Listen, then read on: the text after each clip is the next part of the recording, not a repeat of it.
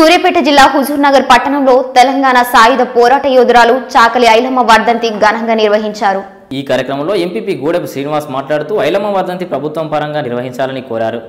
ఇందిరాల వెంకటేశ్వర్లు అధ్యక్షత నిర్వహించిన ఈ కార్యక్రమంలో అనేక మంది ప్రసంగించారు. ఈ కార్యక్రమంలో రజక సంఘం నాయకులు రేపాకుల మురళి దుగ్గి బ్రహ్మం నాగారం పాండు రామకృష్ణ కోల నాగేశ్వరరావు కోటయ్య చిక్కుల గోవింద్ తదితరులు పాల్గొన్నారు. జోహార్లో ఐలమ్మ గారికి సాధిస్తాం ఐలమ్మ గారి ఆశయాలను. సాధిస్తాం ఐలమ్మ గారి ఆశయాలను.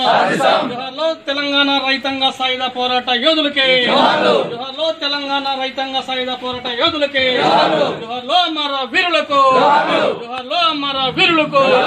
సాధిస్తాం అమర వీరుల ఆశయాలను. సాధిస్తాం ఆడలను కొడితే మొత్తం.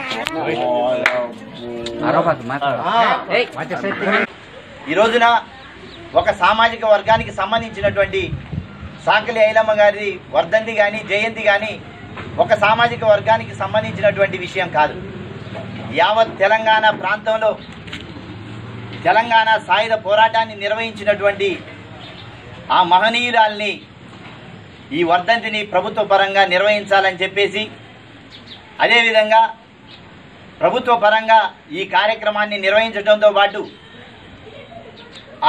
హైదరాబాదులోని హైదరాబాదులో ఆమె పేరు మీద స్మారక చిహ్నాన్ని ఏర్పాటు చేయడంతో పాటు ఆమె పేరు మీద ఒక మహిళా ప్రాంగణాన్ని కూడా నిర్వహించి మహిళలకు సంబంధించినటువంటి అన్యాయాల మీద అరాచకాల మీద మహిళలను చైతన్యవంతపరిచేటువంటి కార్యక్రమాలు నిర్వహిస్తే బాగుంటుందనేది మరి ఈ విధ ఈ సందర్భంగా తెలియజేస్తా ఉన్నాం. అందుకే ఈ రోజున ఆయన ఈనాటి చిట్యాల ఐలమ్మ గారి ముప్పై నాలుగు వర్ధంతి సందర్భంగా ఈ హుజునార్లో ఏర్పాటు చేసినటువంటి మన హుజునార్ అధ్యక్షుడు వెంకటేశ్వర్లు గారికి అట్లాగే ఇక్కడికి హాజరైనటువంటి మొత్తం రజక సోదరులందరూ కూడా పేరు పేరున నమస్కారాలు తెలియజేసుకుంటూ ఈ ఐలమ్మ గారికి ఎంతో చరిత్ర గొప్ప చరిత్ర ఉంది.